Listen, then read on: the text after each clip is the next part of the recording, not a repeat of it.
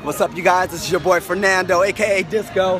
I am walking the red carpet, bringing you on the hottest movie premiere, probably of all time, man. This is it, Star Wars right here, The Force Awakens. We are on the red carpet. You see how we do. Lots and lots of excited fans. It's going down real big. That was my intention.